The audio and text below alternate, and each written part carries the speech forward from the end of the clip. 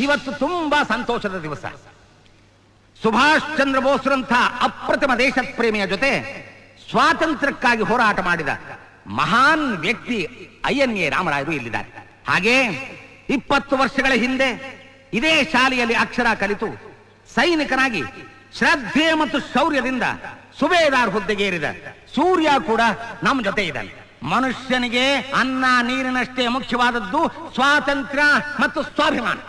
ಈ ಸ್ವಾತಂತ್ರ್ಯದ ಬೆಲೆ ಏನು ಅಂತ ನನ್ನ ಮಾತಿನಲ್ಲಿ ಕೇಳೋದಕ್ಕಿಂತ ಅದಕ್ಕಾಗಿ ಹೋರಾಟ ಮಾಡಿದ ರಾಮರಾಯರ ಮಾತಿನಲ್ಲಿ ಕೇಳೋದೇ ಚೆನ್ನಾಗಿರುತ್ತೆ. ಸ್ವಾತಂತ್ರ್ಯ ಅಂದ್ರೆ ಗುಲಾಮಗಿರಿಯಿಂದ ಬಿಡುಗಡೆ ಅಂತ ಅನ್ಕೊಂಡಿದ್ದೆ. ಆದ್ರೆ ಇವತ್ತು ಸ್ವಾತಂತ್ರ್ಯ ಸ್ವೇಚ್ಛಾಚಾರ ಆಗಿದೆ. ಸ್ವಾತಂತ್ರ್ಯ ಬಂದ್ಮೇಲೆ ನಾವೆಲ್ಲ ಒಂದೇ ಕುಟುಂಬದಂತೆ ಬಾಳ್ಬೇಕು, ಒಳ್ಳೆ ಭವಿಷ್ಯ ರೂಪಿಸ್ಕೊಳ್ಬೇಕು ಅಂತ ಸಿಡಿದು ಹೋಗಿದ್ದ ಭಾಗಗಳನ್ನೆಲ್ಲ ಒಟ್ಟಾಗಿ ಸೇರಿಸಿ ಆದ್ರೆ ಇವತ್ತು ನಮ್ಮ ಸ್ವಾರ್ಥಕ್ಕೋಸ್ಕರ ಒಬ್ಬೊಬ್ರು ಒಂದೊಂದು ದಾರಿ ಹಿಡಿದು ಅಖಂಡ ಭಾರತ ಅನ್ನೋ ಮನೇನ ಒಡೆಯೋ ಪ್ರಯತ್ನ ಮಾಡ್ತಾ ಇದ್ದೀವಿ. ಇದನ್ನೆಲ್ಲ ನೋಡ್ತಾ ಇದ್ರೆ ನಾವು ಮತ್ತೆ ಗುಲಾಮಗಿರಿಗೆ ಹೋಗ್ತಾ ಇದ್ದೀವಿ ಅನ್ನೋ ಭಯ ನನ್ನನ್ನು ಕಾಡ್ತಾ ಇದೆ. ಹೀಗಾಗಬಾರ್ದು.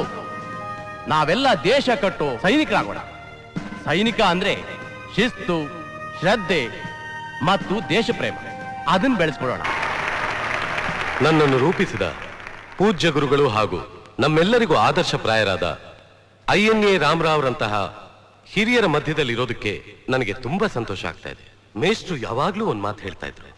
ಪ್ರತಿಯೊಬ್ಬ ಮನುಷ್ಯನಿಗೂ ಇಬ್ರು ತಾಯಂತ ಒಬ್ಳು ಹೆತ್ತ ತಾಯಿ, ಇನ್ನೊಬ್ಳು ಭೂಮಿ ತಾಯಿ. ಇವರಿಬ್ರು ಋಣ ತೀರಿಸೋದು ನಮ್ಮೆಲ್ಲರ ಕರ್ತವ್ಯ. ಪ್ರತಿ ತಂದೆ ತಾಯಿಗಳು ನನ್ನ ಮಗ ಡಾಕ್ಟರ್ ಆಗ್ಬೇಕು, ಇಂಜಿನಿಯರ್ ಆಗ್ಬೇಕು ಅಂತ ಬಯಸ್ತಾರೆ. ಅವ್ರ ಆಸೆನ ಪೂರೈಸಿ ನಾವು ಅವ್ರ ಋಣ ತೀರಿಸ್ತೀವಿ. ಆದರೆ ಈ ಭೂಮ್ತಾಯಿ ಋಣ ನಾವು ಮರ್ತೇ ಬಿಟ್ಟಿದ್ದೀವಿ ರಾಮರಾಯರು ಅಖಂಡ ಭಾರತದ ಕಲ್ಪನೆ ಬಗ್ಗೆ ಹೇಳಿದರು. ಅವರ ಕನಸು ನನಸಾಗಬೇಕಾದ್ರೆ ಹಳ್ಳಿಗಳ ಉದ್ಧಾರವಾಗಬೇಕು. ನಾನು ಕೂಡ ನಮ್ಮ ಊರಿನ ಜನಗಳ ಬಾಳು ಹಸನಾಗಬೇಕು.